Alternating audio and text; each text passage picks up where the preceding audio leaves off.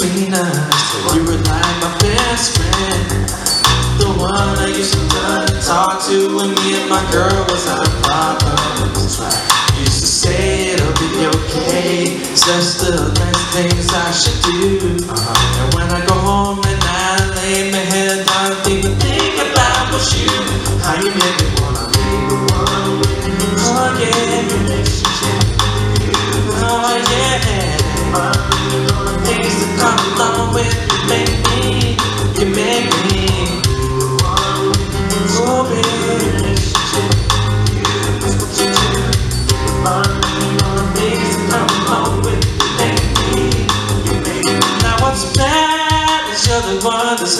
up, knowing that should have you.